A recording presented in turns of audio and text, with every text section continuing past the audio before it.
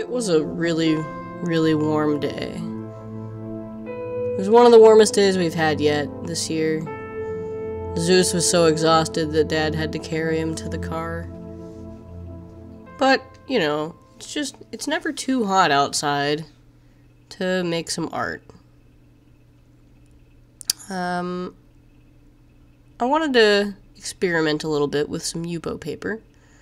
Um, I've had it for a little bit and I haven't really known what to do with it, so figured I would just start experimenting. Got out my, my watercolors and just made some little shapes and honestly just sat here and played with watercolors and some some uh, some alcohol uh, and let the chemical reactions do their thing and make all these crazy shapes and yeah i could do this stuff for hours and i did. Maybe it was one hour i don't know. I didn't really count. But yeah. I have i have lots of fun just making shapes on on things. Like circles. Circles I do like circles. And uh, so I made some. I made some circles. And um, uh, I cut them out. I cut out the circles. And I placed them like so. Like so right here. And then and then I I I'm subscribed to Time Magazine. Um, I think because it was like seven dollars or something for the whole year, and I don't know. I mean, that's kind of like free magazines or something to me. That's that's a pretty good deal. So uh, I found this this picture of a church, and cut out all the little shapes around it, rather, like the space around it, and made shapes out of that space and pasted them down. And then I cut out the church.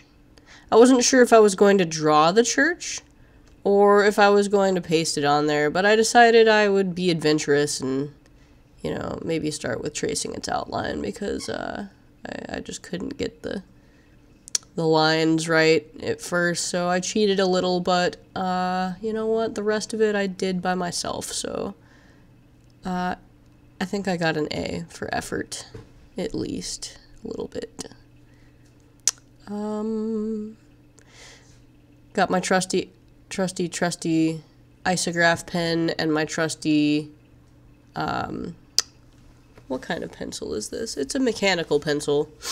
Um, I've seen it around actually quite quite a lot. Uh, I found it online in like 2014 or something, and uh, yeah, it's my favorite pencil. I have several. Just just in case that pencil ever gets lost, I will have a backup. Cause I don't even know what I would do if I if, I didn't have that pencil in my life. It's my favorite. I just don't know what I would do. Um, so I kind of added some texture to the roof here with with what with with ink, and um,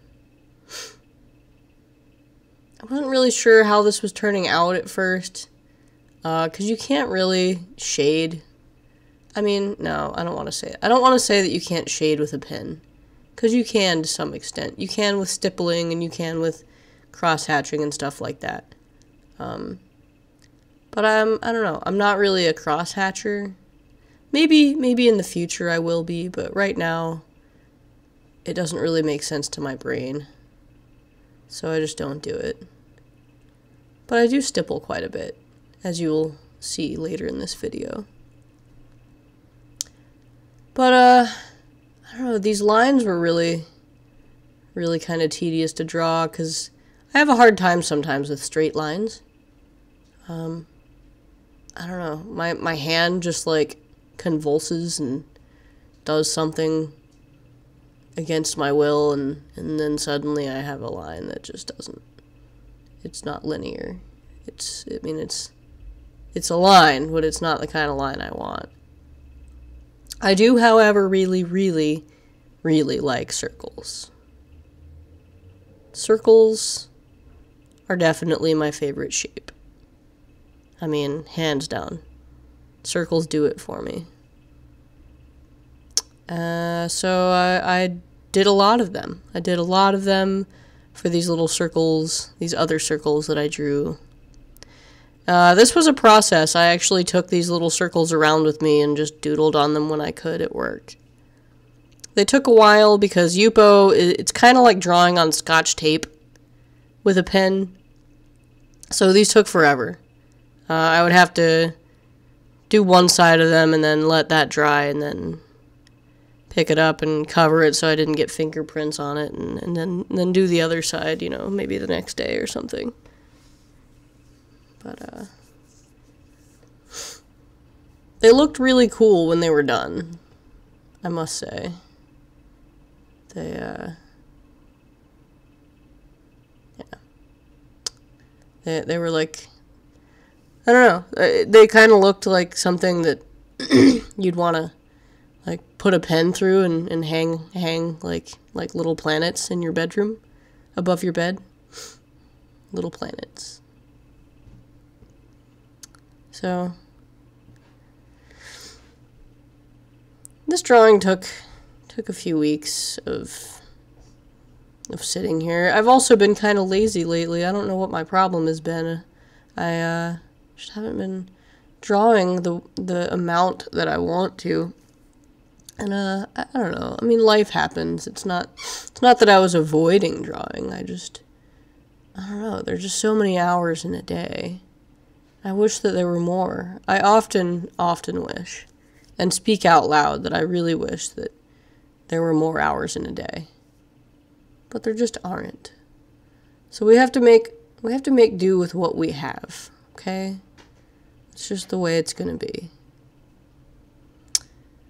but yeah, this took me about a week and a half, two weeks of, of setting it down and coming back to it. And I had a couple of papers for class to do between then and, and you know. I kept busy. I wasn't just sitting here looking at, at cat videos or anything like that. Even though I'm probably, I'm sure I probably watched some cat videos in the last couple of weeks. Okay, I'm, I'm not perfect. You might hear uh, a little squeak in the background, and uh, some of you are probably very familiar with the noise. It's my dog playing playing with his squeaker bone as he does. And you know, uh, I'm just gonna let him. It's it's gonna be in the background in my audio, and yeah, exactly. And I just there's nothing I can do about it, okay? I'm not going to tell the dog to to stop doing what makes him happy. I'm just going to just going to let it happen. Yep. Exactly. So I started getting the idea that I don't know, that this church was kind of creepy in some way. So I figured with these little circles and little circles inside of those circles, I would uh, make like you know how like when you when you take a picture and you get those little like lens flare things, maybe it's dust or something. I knew a guy once that thought they were spirits. And uh I don't know. This kind of reminded me of that. These little spirits, actually, compared to the size of the church, I guess they're pretty big spirits. But I don't know. I, I kind of liked the the gist of, of a creepy church happening here. Because churches, uh, churches can be kind of creepy. Man, like, they totally can be. I don't know. Maybe it's, maybe it's that I'm, I'm not really religious, so I don't really associate church with, like, all these fuzzy, warm childhood feelings of Sunday school and I don't know. I mean, I went to Sunday school and it wasn't terrible when I was a kid, but um, I don't know. Churches and religious things kind of kind of creep me out a little, and, and I don't know. I mean, it's it's not like that hasn't been a topic of conversation, you know, religion and stuff recently. So I don't know. I, I guess it just kind of manifested itself in my in my work and Gosh, I love to stipple. Golly, I love it. I love stippling. It is the most therapeutic thing and and rewarding like style of of drawing.